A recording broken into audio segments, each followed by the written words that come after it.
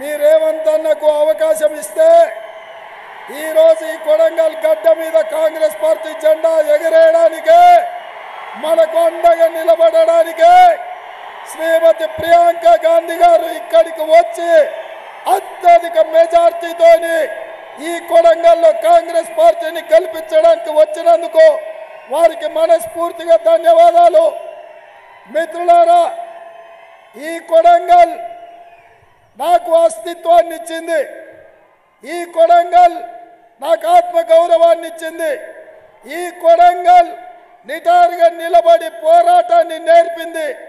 ఈ కొడంగల్ తలదగి కింద పడ్డా ఎవరు ముందు లొంగకూడదని ఈ కొడంగల్ గడ్డ. ఈ కొడంగల్ గడ్డ నాకు నేర్పింది. ఈ ఇరవై ఏండ్లు ఈ ప్రజల మధ్యన ఈ రైతుల కోసం ఈ విద్యార్థుల కోసం ఈ నిరుద్యోగ యువకుల కోసం ఈ ఉద్యమకారుల కోసం ఈ అమరవీరుల కుటుంబాల కోసం నిటారుగా నిలబడి కొట్లాడిన దానికి నా ధైర్యం నా అండ ఈ కొడంగల్ గడ్డ. మీరు అండగా ఉన్నంత వరకు అది నరేంద్ర మోడీ అయినా కల్వకుంట్ల చంద్రశేఖరరావు అయినా నిటారుగా నిలబడి కొట్లాడి వాళ్ళ మెడలు వంచే బాధ్యత నాది. మిత్రులారా ఈ మొక్క మీరు నాటినరు ఇది పెద్దదై వృక్షమై ఇవాళ తెలంగాణ రాష్ట్రానికి నాయకత్వం వహిస్తుంది. మరి ఈరోజు మీరు నాటి మీరు నీరు పోసి మీరు పంచిన వృక్షాన్ని కల్వకుంట్ల చంద్రశేఖరరావు భుజాల మీద గొడ్డలేసుకొని నరకడానికి వస్తున్నాడు.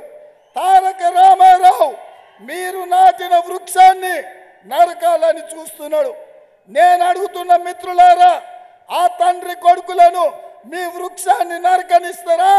మీరు అండగా నిలబడి ఎవడు వచ్చినా పాతాళానికి తొక్కుతారా? మీరొక్కసారి ఆలోచన చేయండి. అదేవిధంగా మిత్రులారా సిరిసిల్ల నుంచి ఆ సన్నాసి వచ్చిండు. కొడంగల్ని దత్తత తీసుకుంటా అన్నాడు. నేను ఇవాళ ఈ గడ్డ మీద నుంచి మాటిస్తున్నా. నా కొడంగల్ నియోజకవర్గం మొత్తం తెలంగాణను దత్తత తీసుకుంటుంది. మొత్తం తెలంగాణను సస్యశ్యామలం చేస్తుంది. నిరుద్యోగ యువకులకు ఉద్యోగ ఉపాధి అవకాశాలు ఇస్తుంది. నా రైతు పండించిన ప్రతి పంటకు గిట్టుబాటు ధర ఇస్తుంది మిత్రులారా.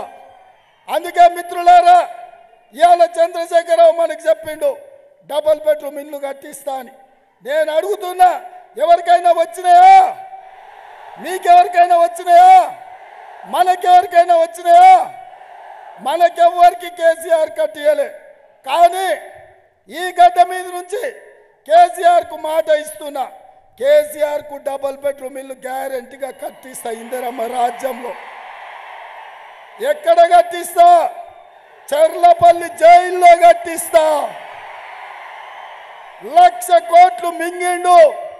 పదివేల ఎకరాలను ఆక్రమించుకున్నాడు. ఇవాళ అత్యంత అవినీతి పరుడు చంద్రశేఖర్ రావును చర్లపల్లి జైలుకు తోలి డబుల్ బెడ్రూమ్ ఇల్లు కట్టించే బాధ్యత ప్రతి కాంగ్రెస్ పార్టీ కార్యకర్తది. ఎందుకయ్యా అంటే ఆయన ఆయన అన్నాడు కొడుకు కోడలు ఉంటే ఆడవంటారు బిడ్డ అల్లుడు పండుగకు వస్తే ఆడ ఉంటారు గొర్రె పిల్లనో మేక పిల్లనో ఉంటే ఆడగట్టేస్తారని ఇప్పుడు నేను కూడా కేసీఆర్కి అదే చెప్తున్నా. ఈ రాష్ట్రాన్ని దోచినందుకు నీ కొడుకు కోడలు జైలుకే వస్తారు నీ బిడ్డ అల్లుడు జైలుకే వస్తారు. నువ్వు కూడా జైల్లోనే ఉంటావు. అందుకే నీకు డబల్ బెడ్రూమ్ ఇల్లు కట్టించే బాధ్యత కాంగ్రెస్ పార్టీ తీసుకుంటుంది. మిత్రులారా ఇవాళ సమయం మించిపోతుంది. ప్రియాంక గాంధీ గారు బయలుదేరాలి. నేను రెండే విషయాలు మాట్లాడతాను. ఒకటి ఈ రాష్ట్రంలో మార్పు జరగాలి. ఇందిరమ్మ రాజ్యం రావాలి. ఈరోజు దొరల గడీల పాలన పోవాలి. ఇందిరమ్మ రాజ్యం రావాలి.